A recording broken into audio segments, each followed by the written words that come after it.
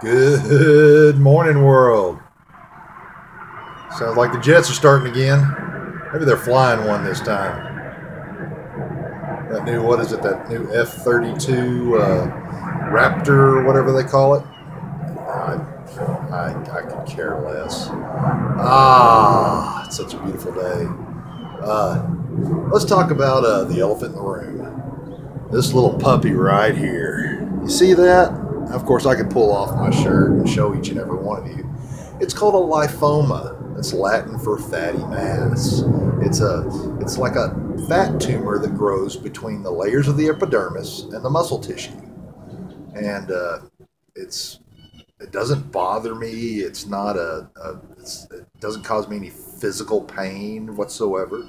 It's uh, it started, believe it or not, as a small little bump closer down towards the shoulder blade, uh, right before um, President Obama was hired. Now, I don't blame President Obama, of course. It's not his fault. Uh, it's not the world's fault. Well, it could be the world's fault. It could be uh, uh, all the pollutants and chemicals put in our foods, our water, our air. You know, we don't really know. I don't think they even know why or how lipomas are, are created or exist. But like I said, it's it's in most cases benign, not malignant, and uh, eventually I'll get me a a, a clean razor, uh, some alcohol, a bag of ice, and uh, some sort of suturing equipment, and I'll just remove it myself. I'm trying to find somebody to do it for me or to help me since it's in such a, an odd location is uh, going to be quite difficult. Uh, it's been quite difficult. Uh, even if I type up and print up some sort of letter saying removing their responsibilities, um, hell, I've even thought about just going ahead and slicing it open, ripping it out, and uh, uh, doing so maybe in the parking lot of a, of a county hospital or such, and just going inside and letting them finish the job off and sewing it up. That way, at least I can get a prescription for some antibiotics. Uh, excuse me this morning. Uh, I've spent the entire morning. Uh, see, I've been up since about six this morning. Went to bed probably about midnight, uh, or real close, and uh, uh, spent this morning writing up motions and letters to uh, civil court for a civil action that was uh, that that I'm dealing with. Yeah, so I've spent the morning writing letters and motions, et cetera, et cetera. I'm not a lawyer at all, but I do know a thing or two about it. Hope y'all like the, the hair job this morning. I just uh, threw some water in it, r- brushed it back. Uh, I'm wearing, of course, another Flipside shirt.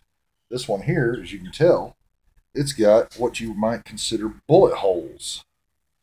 Now, this was the shirt I was wearing uh, the night I had bought my van, this van right here, and I had driven it home from uh, from Arlington over to uh, the north side of Fort Worth.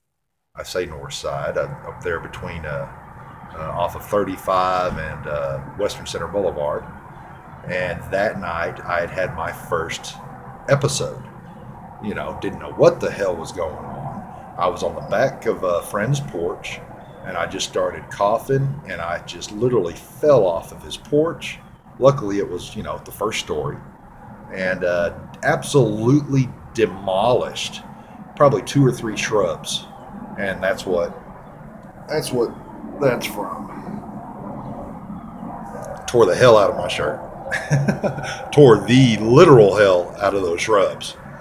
Uh, but, you know, that was that was my first experience. Of course, I thought right then and there, oh my gosh, I'm having a low blood sugar attack, and you know I was already infused with the uh, hydrocarbons from the fuel being leaked on top of the engine because I drove it, you know, quite a few miles. Even though I thought it was possibly just a small exhaust leak. I'm gonna put my arm up.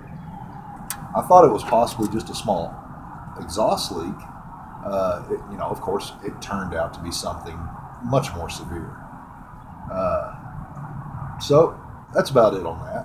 Um, I guess that's all this morning.